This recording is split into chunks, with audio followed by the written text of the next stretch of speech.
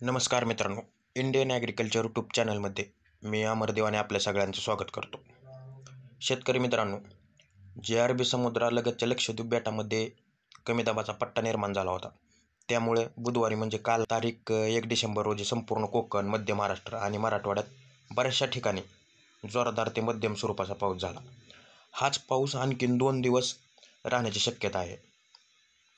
तर आज दोन डिसेंबर रोजी कोकण मध्य महाराष्ट्र आणि मराठवाड्यात जोरदार स्वरूपाचा पाऊस पडण्याचा अंदाज वर्तवला जात आहे तर उद्या तीन डिसेंबर रोजी रायगड रत्नागिरी व संत सिंधुदुर्ग जिल्ह्यात काही ठिकाणी जोरदार तर अहमदनगर पुणे कोल्हापूर सांगली सातारा सोलापूर औरंगाबाद बीड आणि उस्मानाबाद व विदर्भात तुरळक ठिकाणी हलका ते मध्यम स्वरूपाचा पाऊस राहील असा अंदाज वर्तवला आहे.